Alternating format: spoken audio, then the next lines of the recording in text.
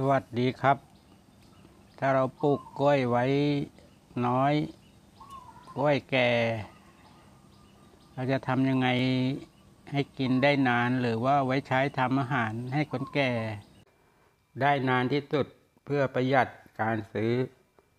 นี่ก็เป็นอาหารให้ทั้งสายยาง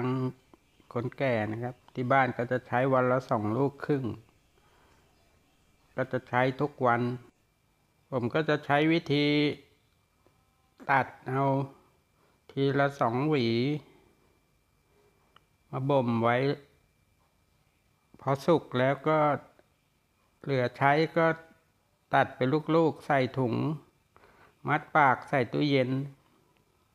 ก็จะไม่ดำไม่ไม่งอมไวเราจะตัดทีละสองหวีนะครับ พอ ใกล้หมด เหลืออีกสักสองสามวันเราก็คำนวณดู แล้วเราก็ไปตัดอีกสักสองหวี ก็มาบ่มกะให้สุกพอดีกัน ก็ทำอย่างเงี้ย ไปเรื่อยๆจนกว่าจะหมด ก็จะยืดอายุการซื้อหรือว่าการกินใช้ไปได้นานกว่าเก่าเยอะ ถ้าเราตัดมาทีเดียวตั้งแต่แรกมันก็งอมไวแล้วก็กินไม่ทัน ถ้าต้นกล้วยมันสูงเกินไป เราก็โน้มลงมาหน่อยหนึ่งเอาแค่ตัดถึงแล้วก็เอาไม้ค้ำไว้ ก็ไม่ให้ต้นเขาหัก แต่ถ้าต้นเขาไม่สูงมากจนเกินไป เรามีบันไดหรือว่ามีเก้าอี้ยืนถึง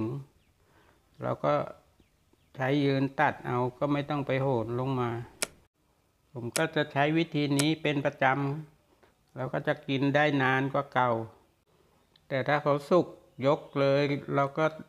ค่อยตัดลงมาทีเดียวหมดเลย ส่วนมากก็เอาแค่ลูกกลมๆเราก็ตัดได้แล้ว มันก็จะไม่สุกคาเครือ คลิปนี้ผมก็ขอจบเท่านี้ก่อนนะครับ สวัสดี